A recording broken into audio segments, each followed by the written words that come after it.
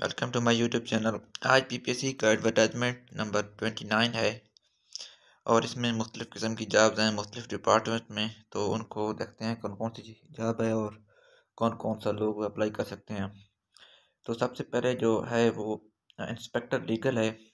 ये पंजाब पुलिस में है। इसकी सीट्स पहले भी आई थी तो अब दोबारा आई हैं क्योंकि उसमें जो है ना सारी सीटें खाली रह गई थी।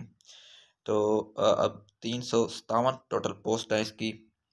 और इसमें सिर्फ़ और सिर्फ़ लॉ ग्रेजुएट वाले एलिजिबल हैं, जिनका दो साल लीगल प्रैक्टिस भी है।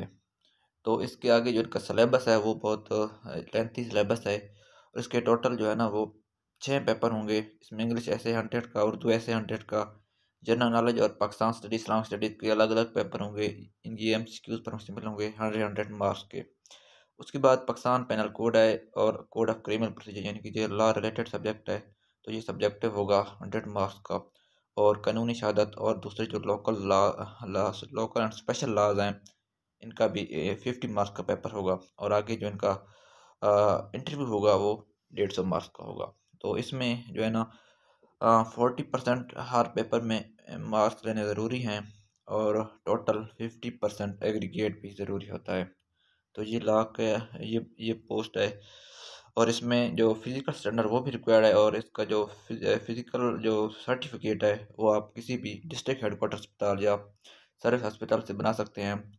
सर्विस हॉस्पिटल लाहौर से बनवा सकते हैं और इसका जो फ़िज़िकल टेस्ट फ़िज़िकल जो सर्टिफिकेट होगा वो आपको पहले बनाना होगा, यानी कि लास्ट डेट से पहले जो कि आठ दिसंबर है, इससे पहले आपने इसका बनवाना है। आगे इसकी जो रिक्वायरमेंट है फ़िज़िकल वो ये है कि हाइट पाँच फीट, पाँच इंचज़ और चेस्ट जो है ना वो बत्तीस से साढ़े तैंतीस इंच होनी चाहिए।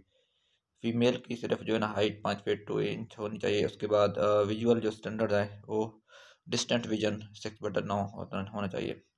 अगर उन्होंने एक एज दी हुआ है कि एज जो है ना मेल के लिए एटीन टू थर्टी टू है और जो पुलिस में जो इन सर्विस कैंडिडेट हैं वो पैंतीस साल तक अप्लाई कर सकते हैं। और डिसेबल जो सर्विस कैंडिडेट हैं, उनके लिए ये इसमें रिलैक्सेशन नहीं है। उनकी भी अठारह से बत्तीस साल है। आगे उन्होंने एक फॉर्म दिया हुआ इस तरह को आपने बनवाना है फ़िज़िकल उसके बाद पोस्ट है बोर्ड ऑफ़ रेवेन्यू में इसमें जूनियर क्लर्क की पोस्ट हैं और इसमें टोटल ट्वेंटी टू पोस्ट हैं। मिनॉरिटीज़ की एक है और वोमेन की सेवनटीन है और सर्विस कोटा जो है ना, उनका अपना है वो चार पोस्ट हैं, यानी कि ये सिर्फ़ फीमेल के लिए है और माइनॉरिटीज़ के लिए हैं। तो इसका जो आप आगे देख सकते हैं कि आपकी इसकी रिक्वायरमेंट क्या है। उसके बाद, तीन पोस्ट हैं असिस्टेंट डायरेक्टर फाइनेंस की M B M com M B com वालों के लिए।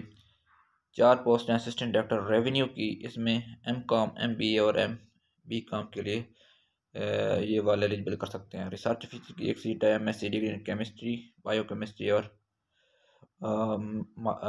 माइक्रो केमिस्ट्री ये अप्लाई कर सकते हैं। आगे ला ऑफिसर की एक सीट है।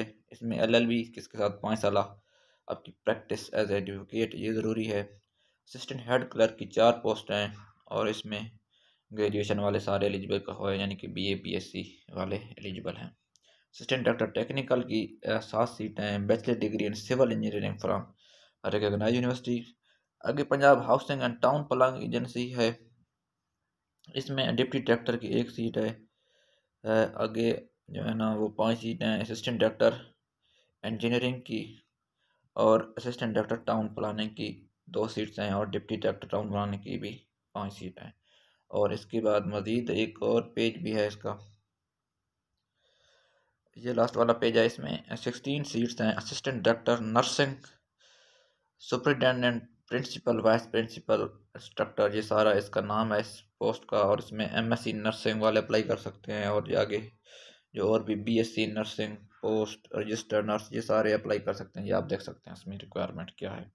तो इसकी लास्ट डेट आठ दिसंबर है तो यही थी आज का एडवर्टाइजमेंट बहुत शुक्रिया।